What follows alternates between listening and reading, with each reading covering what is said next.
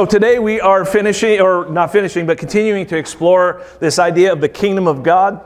And uh, today I want to talk about the connection between healing and the kingdom of God. Uh, the, point of this kingdom teaching that we've been going through since the first, uh, uh, earlier on, is that we desire to see more of the rule and reign of God in our lives, right? We want that because we want what God wants. We, this is the idea of the kingdom. Whatever God wants is what we want to happen here on earth in Jesus' name. And, and as I said a moment ago about what does God want? Well, the kingdom we know from Romans is righteousness, it's peace, it's joy in the Holy Spirit. It's, it's also things like life, it's health. And uh, so we're going to uh, kind of zero in on that. These are some of the elements of the kingdom of God. And this is what we mean by the kingdom of God is God's rule and reign. So if you don't have your Bible open yet, why don't you open it to Luke's gospel gospel today, chapter 9. And uh, we'll, we'll look at verses 1 to 6 and then skip to verses 10 and 11. Now, so, so this, this idea of the kingdom being established includes his healing power in our lives. And I want you to see today, as we read our text, the connection between the kingdom of God and healing. There's, a, there's an incredible connection that's made by the Lord himself as he speaks. Now, these first words that we're going to read right now are Jesus' instruction to his 12 uh, disciples. And, um, and so uh, let's pick it up in verse 1 of Luke chapter 9. When Jesus had called the 12 together, he gave them power and authority to drive out all demons and to cure diseases. He, and he sent them out to, watch this now, preach the kingdom of God and what? And heal the sick. You see the connection there, everybody? Got that? Okay, so preach the kingdom of God and heal the sick. And verse 3, he told them, Take nothing for the journey no staff, no bag, no bread, no money, no extra tunic. Talk about living uh, in a way that you're just trusting God, right? you're going to make a trip, but you're not packing anything. You're just trusting God the whole way. Wow, that would have been a lot of uh, fun, but at the same time, a lot of trepidation, if you know what I mean. So it says, uh, and this was a culture in which people were hospitable in this way, so it made sense. But verse 4 whatever house you enter, stay there until until you leave that town. If people do not welcome you, shake the dust off your feet when you leave that town as a testimony against them. So they set out and went from village to village, preaching the what? Gospel or the good news, and doing what? Healing people everywhere. Good. Now skip to verse 10. They are already doing all this stuff, and now they come back, and it says in verse 10 when the apostles returned, they reported to Jesus what they had done. Then he took them with him, and they withdrew by themselves to a town called Bethsaida. But the crowds learned about it and followed him. He welcomed them and, watch it again, spoke to them about the, what is it? Kingdom of God, and he healed those who needed healing. Tracking with me so far? So you, are catching this idea that there is this connection. Now, in the next chapter, and you don't have to turn there, but you can if you want, Luke 10, uh, 8 through 10, we see, so that was, those were instructions he gave to his 12 disciples. But there was also a group of 72 that were kind of connected to Jesus and were being discipled as well. We don't hear often about them, but, but he did uh, speak to them at times. And so here's him speaking to them in Luke uh, 10, 8. He says, when, it, when you enter a town and are welcomed, eat what is set before you and here it is again heal the sick who are there and tell them the kingdom of God is near you. All right? So there's this, this connection between the kingdom and healing. Now, if you're tempted to think, well, that's okay for the 12 and the 72, that was back then and this is now, uh, I'm going to help you be corrected in that because, uh, and this is very familiar, this will be up on the screen, Matthew 28, we know this, we call this the Great Commission. And, uh, Hopefully it's going to be on the screen. Oh, beautiful. There it is. So uh, Matthew 28 19 says, Therefore go. He's speaking to those disciples. Probably the 72 were included in that group at this time. Go and make disciples of all nations, baptizing them in the name of the Father and the Son and the Holy Spirit. And watch this verse, and teaching them to what? Obey everything I've commanded you. So if he said, Go preach the good news of the kingdom, we're to preach the good news of the kingdom. And if he said to go heal the sick, we're to go and heal the sick. Each generation of disciples are to teach the next generation the things we've been commanded, all the way back to the first group from the Word of God. Amen? Amen? So we're preaching the gospel today, which is good news of the kingdom, and we're going to heal the sick in Jesus' name. In fact, you may be here today and uh, you have some ailment or some pain or something like that. I'm going to believe by the time we get to the end of this message, there will be a, a, a upswelling of faith that will take place in the midst of us, and we're going to see some good things happen today. We're going to see some people really set free. And by the way, this includes, uh, and we'll talk about this somewhat, but this includes emotional uh, things, this includes men, uh, all of our sorrows. Jesus, when He died on the cross, He died for all that stuff. In Jesus' name, today's the day. So let's start by praying, and then we'll get uh, concluding, uh, getting on with the message here today. Lord, thank you uh, for everyone gathered here today, and anyone who be watching uh, this later online. God, I thank you for the opportunity we have to share your word and to preach it. Thank you for this uh, amazing uh, opportunity that we have also to be gathered together. We don't take this lightly. We thank you that we are able to gather at this time. We pray for health and safety upon everyone that's a part of Praise Center. We pray that this, this place where we gather, Lord, will, that you'll continue to keep us healthy. You'll keep us, uh, anyone from contracting any disease of any kind, including the virus we're so concerned about in these days. But Lord, I pray for grace upon us all in the mighty name of Jesus. Amen. Amen. Amen. Have you ever left the house and uh, you have this nagging feeling like you're forgetting something, but you can't remember what it is? Yeah. Uh, okay. A few of you can relate to that. Okay. Uh, like, like you maybe you say you you realize, oh, I forgot to comb my hair. Or in my case, you forget that you don't have, have hair, so it doesn't matter. Seriously, I, I, it's weird because I've looked in the mirror, you know, every day probably, but since I lost uh, most of my hair, but I keep forgetting that I am bald. I just, I look and I go, who's that guy? Oh yeah, that's me. I have this idea, I don't know why, that I still have hair. but I haven't seen a comb or used one in like 14 years probably. So anyway, but last week, um, I had been at the church. I had some appointments in the morning. I was working, and I, about mid afternoon, the, the day was basically done for me. And I had a project at home, and, and actually, uh, Lonnie came and helped me at one point. We, uh, but I appreciate that so much. Uh, his job was to stand on planks while I hammered them together, but uh, that was, you did a great job, Lonnie. no, he helped me more than that. So, anyway, we joked about that. So, so I'm installing some new flooring in our downstairs, and uh, I had the, you know, the afternoon, the late afternoon was free, so I I went after that. And uh, so so uh, when I left the church, I had on long pants and long socks, and you know I was just dressed normally as you kind of see me today. And then I went home, and I, because it was warm afternoon, I changed it, which we'll probably not see again for about five months now. But um, but uh, I mean the warm afternoon. So anyway, I get home and I change it to a t-shirt and some shorts. And as I'm changing into the shorts, I look and I still had long black socks on, and I thought that, that's not a good look, but but I'm alone at home. Nobody, eh, this wasn't one of the days that Lonnie was going to be there, honestly. So I thought, who cares? It's just me alone at home, right? Yeah. So I'm not trying to impress anybody. So I thought, yeah, I'm not going to change my socks. I'll just leave them on. Well, about 20 minutes later, I forgot all about that thought right there and realized I needed something at the store. you're, you're thinking ahead, I can see that.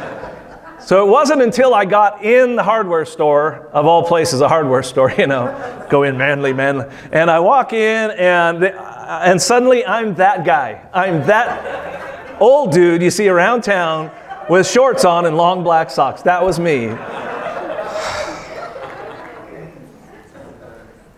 How did this happen? How did I get to this place? You know?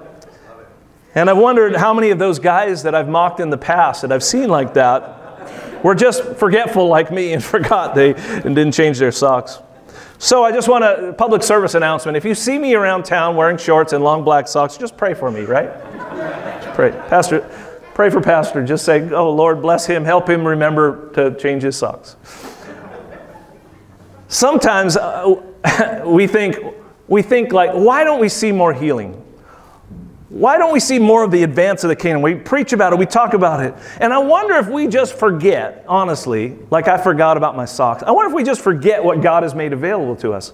Don't you think sometimes we just get so busy in life and we get so wrapped up and we're doing this and doing that, or being so entertained, or whatever it is, or we're consumed with the news and we're consumed with all kinds of things, and we just get out there and we just forget that we are citizens of the kingdom of God. And, and so I'm just saying, I, I'm just trying to hopefully remind us today that, that, that God has made great things available, including healing. He is a healer. He is the healer. That's, that's one of the four foundational teachings of, of what is called a Foursquare church. And, and we don't talk much about our denomination, but there's, there's four things that we believe about Jesus Christ that He's the Savior, He's the healer, He's the baptizer in the Holy Spirit, and He's the soon coming King. Now, there are many more things we believe about Jesus, but number two on that list is He's our healer. And uh, in fact, the whole denomination was birthed out of a great revival in which uh, countless healings took place. They used to have at Angelus Temple, which was the first uh, place that the Foursquare Gospel Church was. They had a, and it used to be much bigger, but I saw it in later years. It was probably a, it was like a trophy case that you'd see at a high school. Okay, and and so by the time I saw it, it was much smaller. They had moved some of the items out of it, but it was probably from my hand to that wall over there, just this long series of trophy cases. And inside the trophy cases were iron lungs, braces, casts, um, all kinds of devices, things where people who had dentures before, they had new teeth, and so the dentures were left there. And each one of them had a little plaque with a story beside it of the amazing things that God had done. Listen, I just think God wants to return to that time. Here's why not just to meet our needs, which He wants to do, but there's something integral about the gospel being connected to healing that attracts people. What do you think people were so excited about Jesus for? I mean, you know, teaching is good, and He taught taught like nobody, and he blew their minds. But the thing that got them all started to listening to him in the first place, hello, was the fact that people were being healed. People were being raised from the dead. People they used to know who sat there for years and couldn't walk were suddenly up walking around. You know, and it, the word spread quickly. People who were possessed by demons were being delivered. So, so listen, all that to say, that, that we need to grasp and get a hold. We don't want to forget that God is our healer in Jesus' name. Now, if some of what I say today uh, starts to sound familiar to some of you, that's because I am repeating myself on some of these things because this is a teaching that I need to keep bringing up from time to time.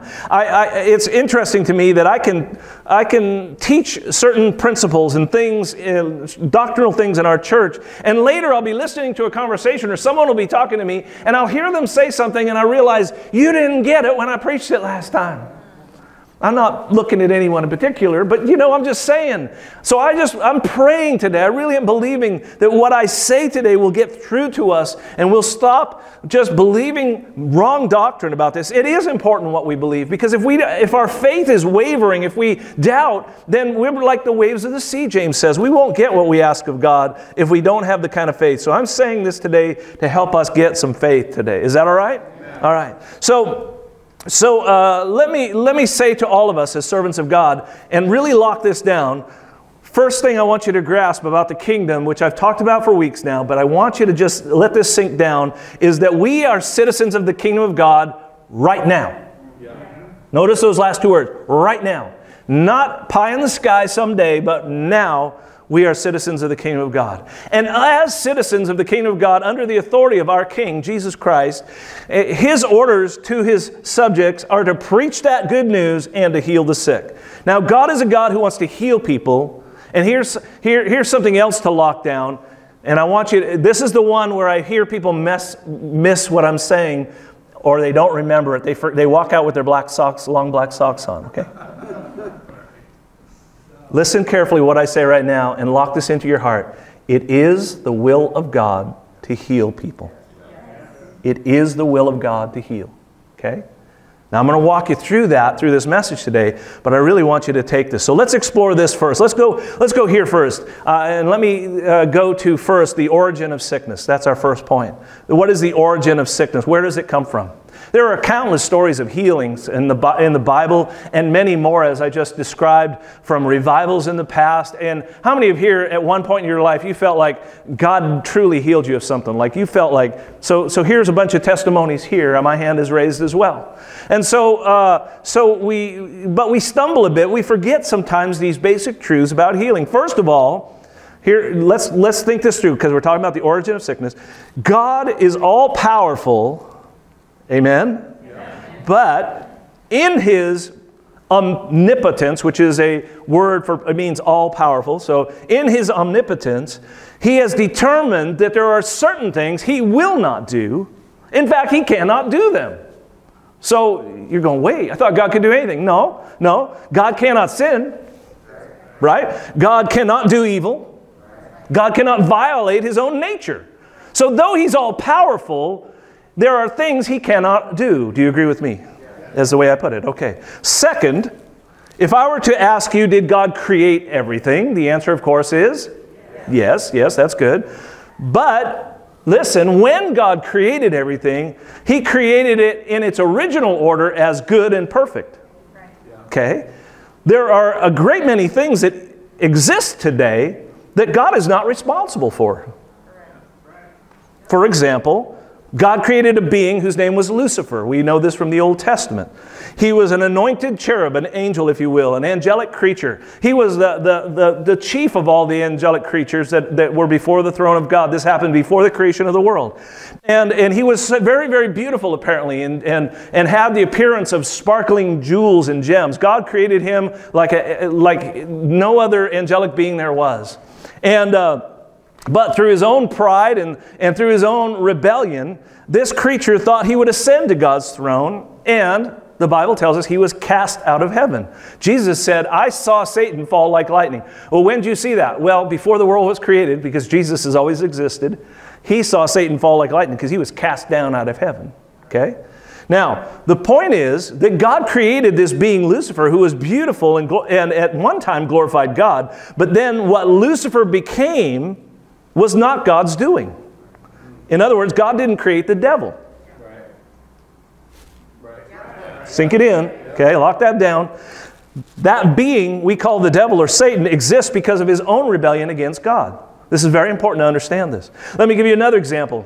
This is maybe a little more practical. Does darkness exist? Does it? What is darkness? Now ah, you're starting to get it. I mean, every night on, on this planet we experience darkness, but what is it really? It, the truth is, darkness does not exist. It is simply the absence of light. If, if something is dark, you can't get something to make it darker. You can't go to the store and buy darkness, but you can buy light bulbs. Right? You don't buy dark bulbs. Like, man, this room's too bright. We need some dark bulbs. Right? So listen, so darkness only exists where light does not. Tracking? All right, this, these are important. You say, what does this have to do with healing? Why is this important? Because we have to get our thinking straight about God. We have to start by realizing number one, He is not the source of sickness and pain. God help us in this moment, I pray, in Jesus' name to get this. These things exist because through sin on planet Earth, God's presence and will, what He wanted for people, was removed in ways, and that what was left behind when the light was removed was darkness. Tracking? So He's not the source of it, it exists because He got pulled out of it by our sin. Second, everything that happens on planet Earth, this is going to be a biggie for some of you because I hear in conversations you still haven't got this straight. And I'm not picking on you today. If, if what I say you're like, this is messing with you, I'd be glad to sit down and go through this further. But you've got to get this. Everything that happens on planet Earth is not God's will. Jesus help us. Everything that happens on planet Earth is not God's will. I, I don't know how we could serve a God whose will it was that children be sex trafficked. Right. Now, that's an extreme example, but you, you understand where, okay? And yet, there are scores of believers who are misinformed and mistaught that believe that everything that happens, and they'll say, happens for a reason. And then they say, well, God has a plan. Right. Listen, I'm going to say it right now. And I know lightning will not strike me because I know I'm on the side of God right now. But if that's the kind of God we have, that he, he does that kind of thing to people, if He's responsible for that, I refuse to serve that kind of God. I will not. I mean that with my whole heart sincerely. But that is not the God of the Bible. I'm teaching you and I'm telling you the truth today. Again, you know, we hear people say, well, God must have had some purpose. Uh, People get sick or injured. Terrible, devastating things happen in people's lives. And because our t- thinking is wrong about God, we say, well, God did it or God allowed it for so- some reason, right? right? See, when people get sick, we think He's using their illness to teach them a lesson. God, confront this thinking in our minds right now. I pray in Jesus' name. Help us to get over this right now. Man, I just, I just feel like a miracle is going to happen in our thinking today. See, this to me reduces God to some kind of puppeteer who is either arbitrarily or worse, by direct preference, choosing some to be well and some to be sick, some to live and some to die. Now, I wholeheartedly reject this kind of teaching and view of God. I do. This is not, listen, people throw out the word the sovereignty of God. This is not what the sovereignty of God is. We are not describing the sovereignty of God when we describe horrible things happening to people.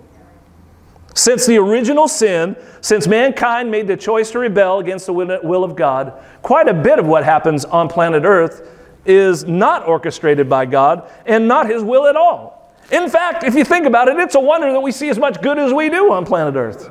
As much sin as there is, right? See, God, listen, again, me, I'm saying this in so many different ways. God did not create evil, God did not create sickness. Now, keep listening to me, keep listening. God does not use sickness to teach people lessons. He can, and He does, work all things together for good. So he can take your, this is your, because I think the reason people say the things they do about God like that, like, oh, you know, that God has a purpose in all this, because they want something redeeming to come out of this terrible pain that they're in, or this terrible sickness, or the death of a loved one. They want something to be redeemed in there. But that's the wrong way to look at it is to say that God was responsible for it. That's not the way to look at it. He can work things out for good. He can take what you and I are going through and He'll work it out for good. That's the miracle. Yeah. Even the worst situation, if I'm never healed from the pain I'm experiencing every day in my back and foot, if I'm never healed from that, but God can still get good out of it. Yep. Do you understand? And I'm not dissuaded for one moment that God wants to heal me. I never have lost my, my, my faith in God to believe that He wants me to be experiencing full and complete healing right now. I believe it with my whole heart. Acts 10:38 on the screen says God anointed Jesus of Nazareth with the Holy Spirit and power and how he went around doing good and healing all who are under the power of the devil. Where's the where's the do you see the connection? Between the sickness and where its source is, is the power of the devil. Why did he do that? Because God was with him. He went around doing good. God is good. He's only good and he's all the time good. And it's impossible for evil or sickness to emanate from God. Can't happen. There are things God can't do, and those things cannot, God cannot do. So if we don't get our thinking straight about God, eh, we, as I said earlier, we're going to end up double-minded or unstable, and to have the kind of faith we need to see healing in our own lives and in the lives of those around us. So we conclude that He is our healer, that He is not the origin of these things. And then our second and final point is this healing is, I said earlier, the will of God. Healing is the will of God. I started to get on this topic a couple of weeks ago. If you were here, you noticed, and I remember walking over here and kind of getting in this mode like I'm about ready to preach my sermon that's two weeks later, and I stopped myself and I only said a little bit. But I did bring up the, I addressed the Lord's Prayer. Do you remember this? If you were here, I said, remember the first request in the Lord's Prayer is, Your kingdom come, your will be done on earth as it is in heaven. And we agree that there is no sickness or pain in heaven. And we're instructed in this prayer that the Lord gave us to pray for the will of God that is in heaven, where no sickness or pain is, to be established here on earth. And why would Jesus instruct us to pray that way unless he intended that our prayers be answered? So that's the part I kind of gave away a couple weeks ago. But the reason I went into all this is so that we can understand that wherever we can, as citizens of the kingdom of God, we can bring the kingdom. See, see, as I said, there, you can't create darkness, but light can invade darkness. And you are, it says in Ephesians, we're like shining stars in the universe. Each one of us is a light. Jesus himself said, I'm the light of the world, but he also said, You are the light of the world. You are the light of the world wherever you go. And so when you and I, as citizens of the kingdom, walk into a dark place, whether that's at work, whether it's at school, whether it's in the marketplace, whether it's in a, a home that we're going into, wherever we go, we bring the light of Jesus and light begins to overtake the darkness. And that includes the healing power of God. And as we do this, as we invade the, the, in the supernatural, as we begin to invade those places, we will see evil overcome. We'll see darkness turn to light. We'll see sickness replaced with health in Jesus' name. Now, as we keep going down this path toward healing, which, by, by the way, includes emotional and mental well being too, I just want to make sure you understand that he, he did, he, as I said earlier, He died for your sorrows, He died for all those things. We have to re- remove that roadblock that says that sickness is the will of God for people. It is not. This is what gives rise to prayers. You may have heard these before. You may have prayed a prayer like this. If you have, just repent today and say, I'll never do that again. You've heard them, though. People will pray, Dear God, please heal so and so if it is your will. Now, praying for God's will is a good thing. I got awfully quiet right then, didn't it? I heard no amens or anything. That sounded like a good prayer, Sal. I, I don't know what we should say right now. Listen, praying God's will can be, or excuse me, is a good thing. But there are certain things we know that are God's will. So we don't need to say if it's your will. Like, for instance, uh, we wouldn't pray for a relative, oh, Lord, please save my brother Jacob. Or, God, please save my sister Maria. We would never say that if it's your will, would we? Because we know, because the scripture says, He's not willing that any should perish. So we've established the will of God for human beings. Uh, and all you Calvinists out there, uh, sorry, but you're wrong. Okay. Oh, I can't even get on that tangent right now. Please. Okay. See, some of this teaching comes from, from, and I'm not saying they're not saved people, but there are churches that teach the opposite of what I'm teaching you today. And I'm right, and they're wrong. Thank you. Had one. Good. I heard another over there somewhere. Okay. So, so please listen to me. We don't pray regarding salvation if it's God's will. We know it's His will. And do not pray for healing if it's God's will because it is God's will. Just pray for the healing. Now, if it doesn't happen, you're not on the hook for that. God is. Just leave it with God. Don't worry about it. But, but it's sort of like we put that clause in there if it's be thy will, just in case. Like, whoo, that lets me off the hook. Now, obviously, it wasn't God's will, so, dude, you're just going to have to be sick the rest of your life. Do you, as we start thinking this through, we go, yeah, Pastor Sal is right. okay. I love, there's a great book called uh, God Still Heals by Jim Garlow. And in his book, he writes this He says, When children get sick, their parents want them to get well. We would never say to a parent, I hope your child gets well if that's what you want.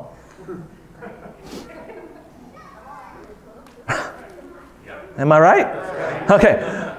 All good parents want their children to be well. There are many good earthly fathers, but our Heavenly Father is better than any of us. Can you imagine God saying to Himself, I think I'd like for my child to be ill for just a little bit longer? It is always God's will for His children to be well. Lock it down, church, lock it down. The question may arise what about, what about other kinds of suffering? Is there in any way that suffering is part of God's will? And, uh, and yes, there is, a, there is a, something different about uh, different kinds of suffering. Um, in fact, Jesus himself suffered terribly, didn't he? And by the way, that was the will of God for Jesus. Because Jesus went to the garden, he said, uh, You know, if it's possible, take this suffering from me, this cup from me. I don't want to go through this. And then what did he say? Not my, but yours be done. You say, wow, okay, what's that about? There's a, another great book called Authority to Heal, in which Ken Blue says this In the New Testament, suffering is sometimes presented positively, but sickness, listen, never is. He goes on to point out that the word suffering in the English language includes sickness. So when we use the word suffering, we think, oh, that includes sickness. But in the New Testament, in the Greek language, suffering always refers to the pain of persecution inflicted by persons or demons. So it's something you're experiencing that's persecution. It's somebody coming after you, and that can be physical. But in our culture, sometimes it's more like emotional or mental, like there, there's pain that we're suffering because we're standing up for Jesus, hopefully, in our marketplace. All right? And yes, we're going to suffer for Christ. And what we'd even lay down our lives and die for Him. I'd take a bullet for the Lord right this moment. I would never waver from that. And so, and, and in that, that could be the will of God. So, do you understand the, the stark difference between those two? Okay? Big difference. They're two different categories. And one is due to persecution, and the other is just has to do with the kinds of sickness and pain we experience on planet Earth. The key here is Jesus. The key is Jesus. By his suffering, he obtained salvation and healing for us. By our suffering, not in sickness, we can also, listen, that's the distinction right there. We will suffer, but it won't be in sickness that it's the God's will. Okay, that's where we have to separate it. So we can testify of our faith in God. And I can confidently preach this truth to you today, even though I, again, have not received all of my healing yet. But I don't base my truth on my experience, but I base my truth on the Word of God. In Jesus' name. Worship team, come on back. I got a little bit more. Are you okay? Can I, can I just preach to you a little bit longer here today? See, when we misunderstand the nature of God and forget that He's good, it's like we're walking around with long black socks on and shorts. I mean, we are not representing God or His kingdom very well at that point. All right, you with me? The kingdom of God exists now. There's a future fulfillment, that's for sure. But and in that, there will be no more sin, no more sickness, no more Satan, none of that. But, but as we're working toward that, we want to experience as much of the kingdom of God as we possibly can. You with me? So let me finish by talking about Job. Everybody brings up Job at this point. I'm going to talk to you about Job. In the book of Job, Job, you know his story, how uh, he starts out, everything's great, and then the, everything goes off the rails. I mean, he loses property, he loses livestock, he loses his kids, he loses uh, his own health. And the only thing that's left is his wife, which he probably wished would have gone with the family, because she says, Why don't you just curse God and die? That's all he has left. And, we, and people will use the story of Job to say, See, this is what God does to people sometimes because he wants to teach them a lesson. These are things that Job says. He says, The Lord gave and the Lord has taken away. We used to sing a song like that. Another time in Job 2:10 he says, "Shall we accept good from God and not trouble?" Another thing he says later on, he says, "Though he slay me, yet I will hope in him." Now all that sounds good, doesn't it? Come on. Doesn't that sound good? I think it sounds good. But, but if you read the whole book of Job, and it's, it's a tough book to get through, but most of the book of Job is a conversation between Job and his so called friends. They show up in chapter 3 and they, they talk and they talk and they ad, ad nauseum they talk. And uh, they say a bunch of stuff that describes God from their point of view. This is the way I see God. And they say all kinds of stuff like what is wrong that I was telling you today. And then finally, finally, we get all the way. Now, there's so many chapters. Get up to chapter 38, and here's the key God has had enough of all this dribble, just stupidity. And he says, he says in Job uh, 38 2, he says, Who is this that darkens my counsel with words without knowledge? Let me translate that into Sal's version. You guys just shut up. You don't know what you're talking about. You aren't describing me well at all. Just be quiet. You're not, including you, Job, you don't even know what you're talking about. And so God goes on for three chapters, the next three chapters, and he begins to describe who he really is to Job. Man, it is it is phenomenal. It's like, wow, there's fire-breathing dragons and all kinds of cool stuff there. No, I'm not kidding, right? So so anyway, we get to the very end of Job, the last chapter, the first three verses. Job finally responds in chapter 42, and he says this. He says, Then Job replied to the Lord, I know that you can do all things. No purpose of yours can be thwarted. You asked, Who is this that obscures my plans without knowledge? Surely I spoke of things I did not understand, things too wonderful for me. Let me give you the Sal version again. Job is admitting to God, You are right in all things, and I don't understand you a bit. It's all that stuff he said earlier you give and take away. Though he slay me, I will serve. You know, all that stuff Shall we accept good from God and not evil? Right? He didn't understand what he was talking about. He misinterpreted God. He did not get it. And God is saying, You don't know who I am. The story of Job, listen, who is it that inflicts all the trouble and pain on Job? Is it God? No, you read the story carefully. It's always Satan. Now he asked God, "Can I go do this?" Or you, he first Satan would come along and he said, "You should do this to Job," and God says, "Nah." You know why God says nah? Because he, he can't, he won't. He refuses to treat people like that. And the part that trips us up is God says, Well, he's in your hands. But he won't curse me. And he, he never does, by the way. Even though his wife says, You should just curse God. No, I'm not going to curse God. In fact, it is God who restores everything to him and brings health back to his body. Satan takes away, not God. God gives health in Jesus' name. People say, well, yeah, but God allowed it. God allowed it.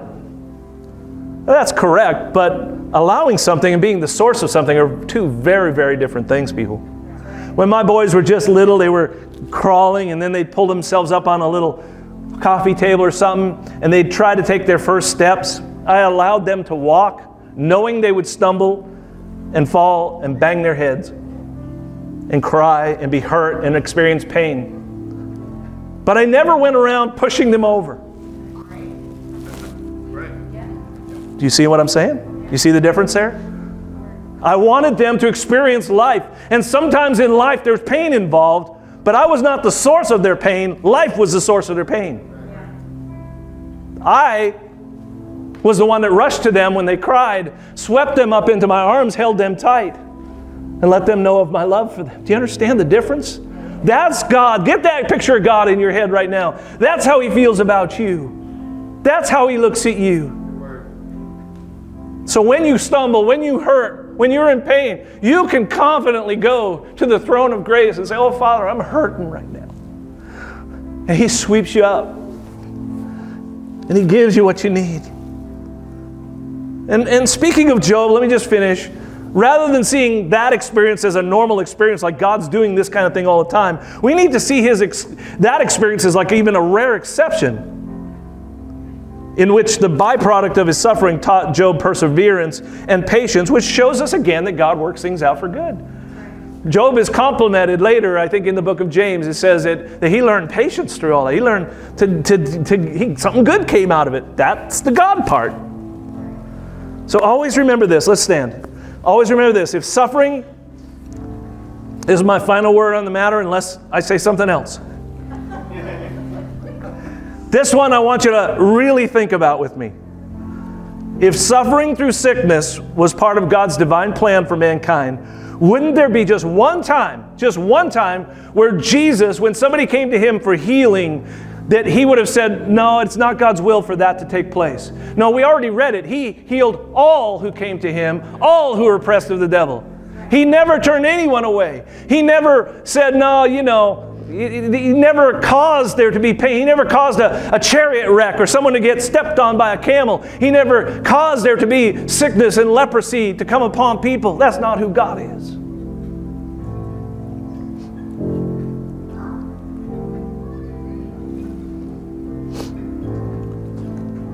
You'll never find ever Jesus doing anything remotely like that. He preached the good news of the kingdom that included health and healing. He healed all who were under the power of the devil. And he told his disciples to do the same. And then he told his disciples, Teach your disciples to obey everything I've commanded you.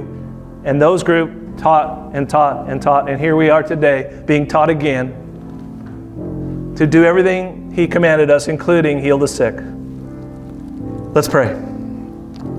Lord, thank you for this time we've had together today. Thank you for the the power of your word and the goodness that you have showed us and the grace that you have given to us in life. Thank you today that your power is here to heal. Lord, even now, before we get to finishing up with a song and worshiping you, I pray that your, your spirit will fall upon us in, in power and in strength right now, that everyone that's here will experience a touch from you of some sort or another. And if you're here today and you say, Pastor, I do need health, I do need healing, would you just be bold enough to raise your hand in the air nice and high right now? You need something from God. God. Now, if you're a family member, you can lay hands on them. If you're not a family member, look around real quick and just stretch a hand. Okay, don't touch today, but just stretch a hand. But everybody's going to be praying for people around you right now as I pray. You need health, you need healing from God. Somebody pray for me as I pray for all of you, okay? In Jesus' name. Lord, we command healing to come in the mighty name of Jesus, declaring it is your will in this moment for healing to happen in every heart and life.